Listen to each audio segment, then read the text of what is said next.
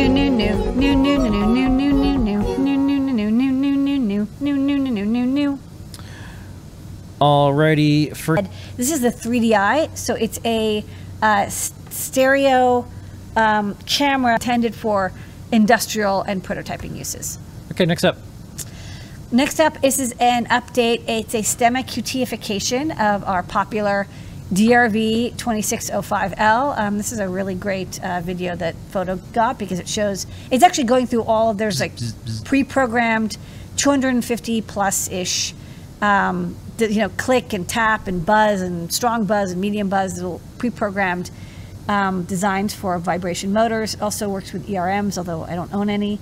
Um, it's now STEMMA QTified. Um, you still need to solder or connect on the vibration motor, um, but for haptic stuff, you can just plug and play, you know, connect it with a STEMMA QT like so, and buzz away. Also, you, know, you can always strip the wires and probably just twist them on, and it might work okay temporarily. Um, but I do like this little haptic driver.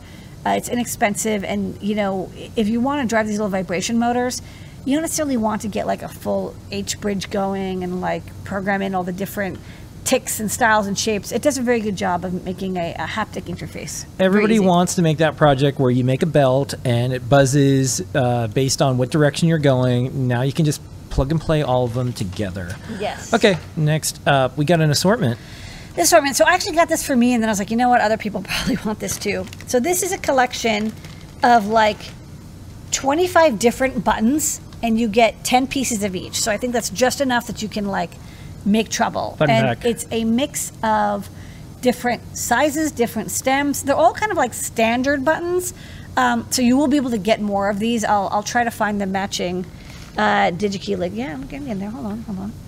Um, so, for example, uh, here is a sort of standard through hole uh, 12 millimeter by 12 millimeter tactile switch. So this is your standard uh, flat top.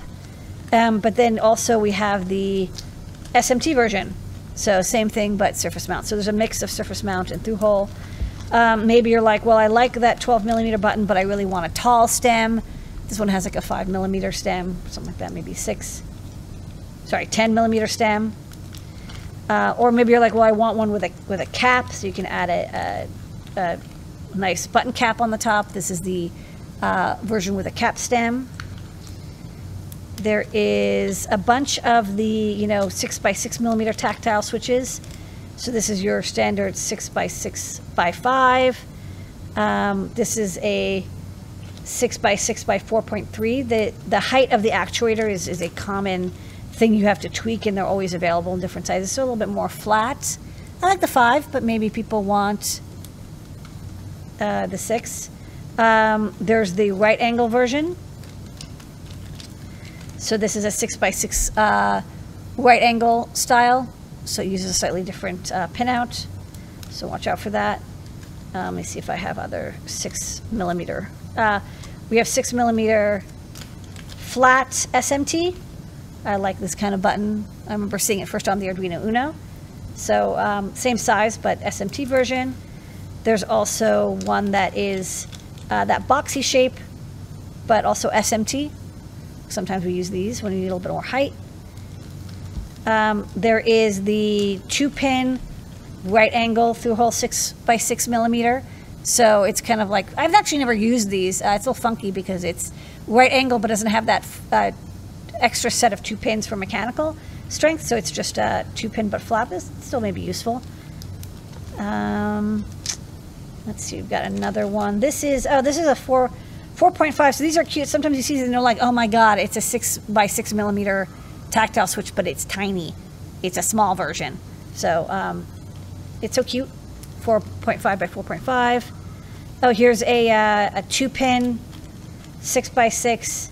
Again, a little bit weird. You don't see these very often, but um, very breadboard friendly. You don't have to wonder which pins are connected to inside together. These are very easy to understand.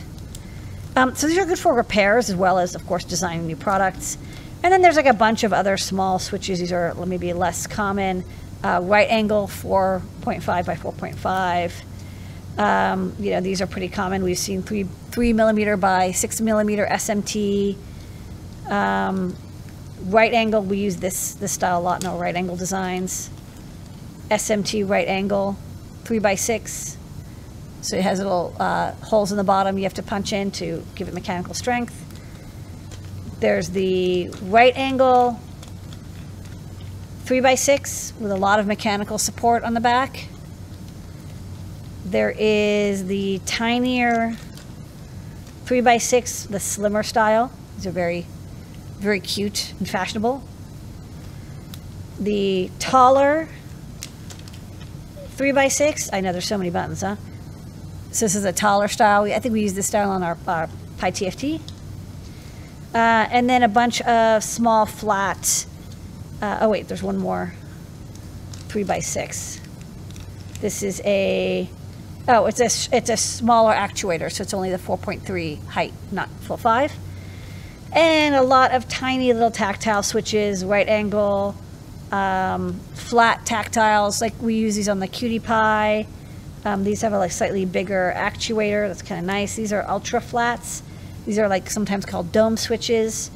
Um, this is, you know, I don't know what this one is called, but I see, you know, SparkFun really likes using these little metal buttons with the gold uh, plate. They're four by four millimeters.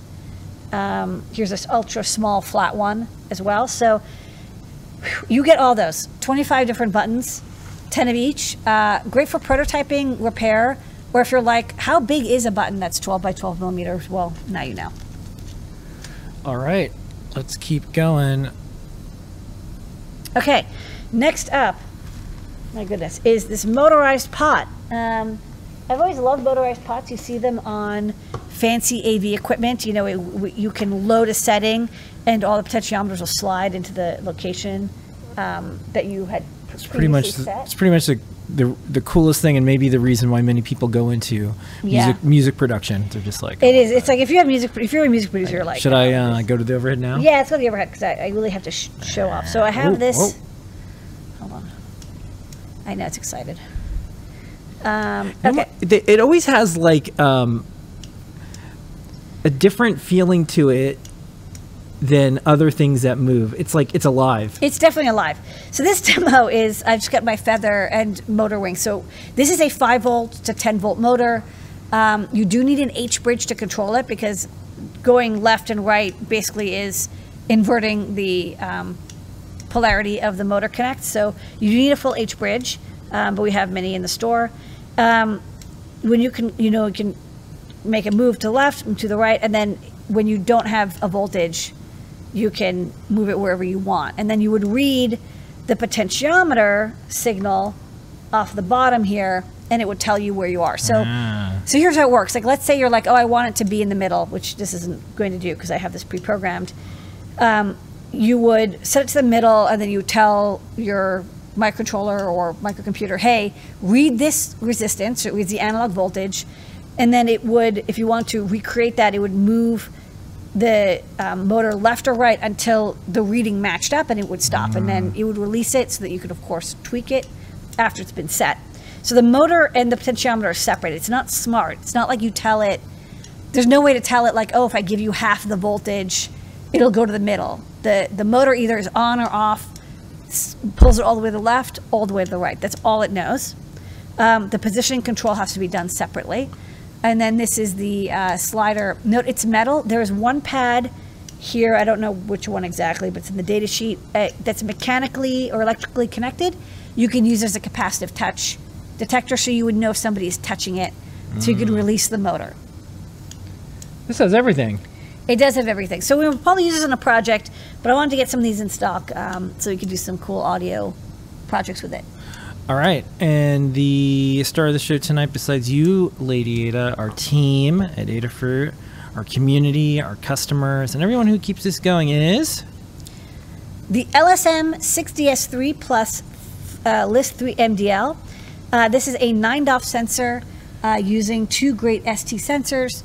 Um, we used to stock one which had the LSM uh, 6DS33, but the DS33 um, was in short supply, and then during uh, the ship shortage was basically completely unavailable anymore. And so um, we've replaced it with um, the LSM6DS3TR-C, which is a really good quality uh, 6 DOF IMU, adding a magnetometer. Now it's a 9 DOF.